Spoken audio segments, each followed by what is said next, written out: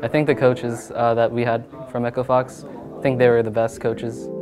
Uh, they've really helped us a lot to improve. I think we were seen as like the weakest team, but I still think we could have made it to finals if we did better.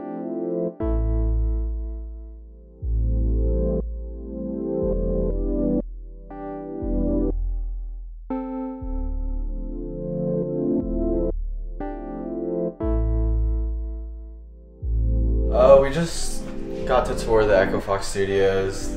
They showed us around, showed us like the like in-house sub playing area. They showed us um, just everything. It was really cool. Yeah, they had like a whole arcade downstairs. It's really, it's really cool.